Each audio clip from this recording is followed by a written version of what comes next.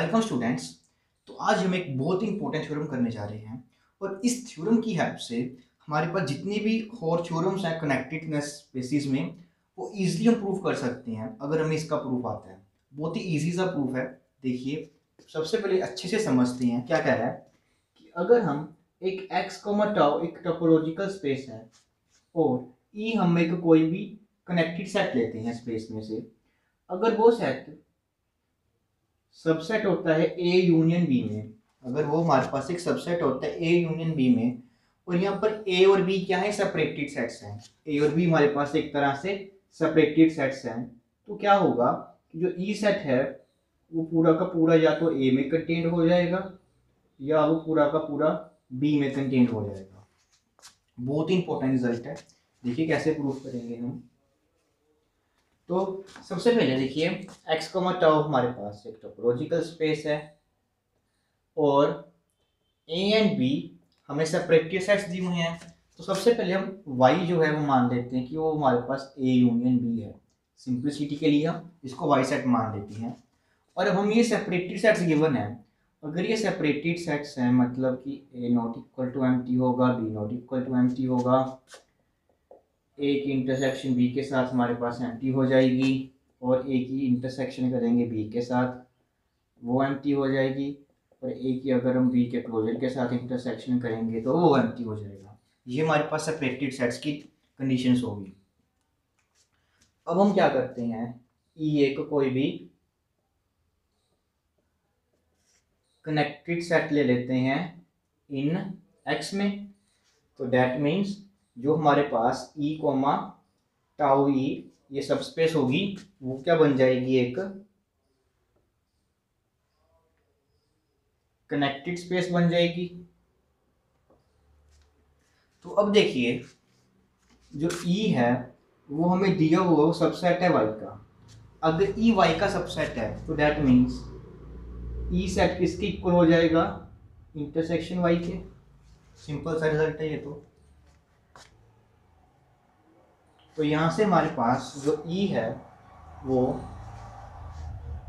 किसके इक्वल आ जाएगा हमारे पास? ई इंटरसेक्शन वाई वाई क्या है? ए यूनियन बी तो डैट मीन्स ई जो सेट है हमारे पास, वो इक्वल हो जाएगा A intersection A union E intersection B इसके इक्वल हो जाएगा ये सेट हमारे पास।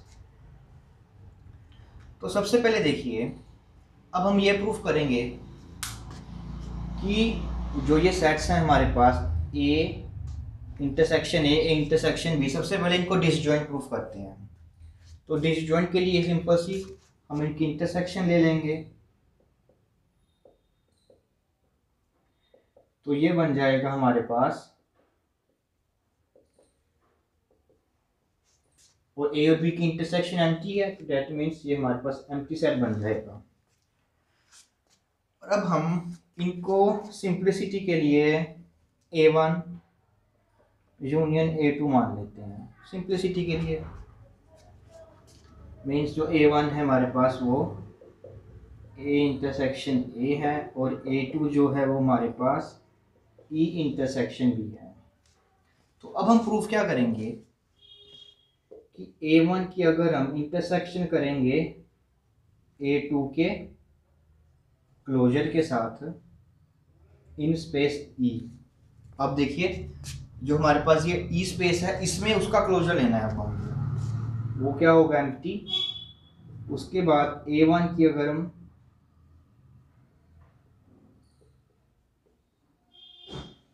वो क्या होगा एम्प्टी अब हमने ये प्रूफ करना है। देखिए, अभी तक जो हमने फाइंड किया था, वो हमने ये शॉर्ट फॉर्म में लिख लिया था और हमको जो ये रिज़ल्ट है, इसको प्रूफ करना था। ठीक है? तो उसके लिए अब हम A one intersection A two ये फाइंड आउट करते हैं। तो देखिए ए वन सेट हमें क्या सपोज़ किया था? ई इंटरसेक्शन ए अब ए टू ई का क्लोजर किसके इक्वल हो जाएगा हमारे पास? उसका जो क्लोजर है स्पेस में, उसकी इंटरसेक्शन कर देंगे हम ई e के साथ।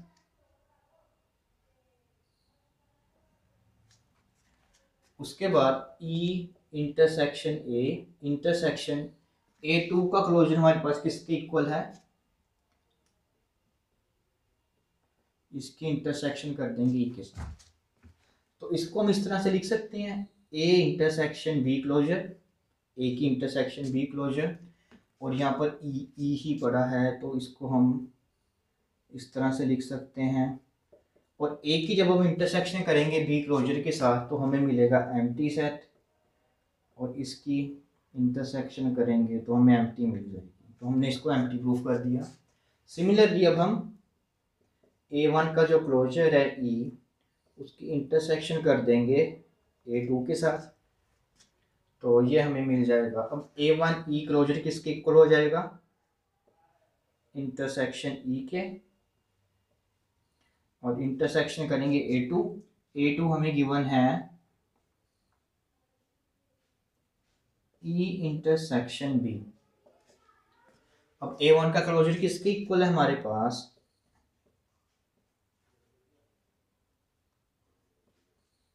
इसकी intersection E intersection E intersection B तो ये बन जाएगा हमारे पास एक तरह से ये बन जाएगा। अब देखिए, ये हमें एम दिया हुआ है। तो ये एम की इंटरसेक्शन हो जाएगी हमारे पास इसके साथ। तो इट मीन्स ये हमारे पास एम हो जाएगा। तो मीन्स अब ये हमने प्रूफ कर दिया कि ये दोनों के दोनों हमारे पास सेट्स क्या हैं? दिस जॉइंट सेट्स हो जाएँगे। तो देखिए, अब हमारे पास क्या आ गया था कि हमारे पास जो ई e सेट है दैट मीन्स ई सेट है, उसको हमने लिखा A one union A two और हमने ये प्रूफ कर दिया ए वन की जब हम इंटरसेक्शन करेंगे ए टू क्लोजर ई वो एक एम सेट है और ए वन क्लोजर ई की जब हम इंटरसेक्शन करेंगे ए टू के साथ, वो एक एम सेट है।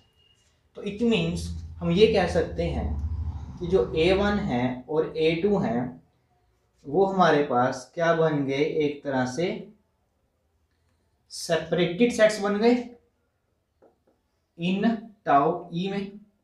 जो हमारे पास ई e की सब स्पेस है, उसमें हमने ये प्रूफ कर दिया, ये हमारे पास एक सेपरेटेड सेट्स है। इट मीन्स जो ए ई सेट है हमारे पास, उसको हमने दो सेपरेटेड सेट्स के यूनियन में लिख दिया। और ये दोनों दोनों सेट्स हमारे पास डिसजॉइंट है डेट इज़ वो तो सेपरेटेड सेट्स से ही वैसे डिसजॉइंट ही होते हैं। तो हमने इनको दो सेपरेटेड सेट्स के यूनियन में लिख दिया।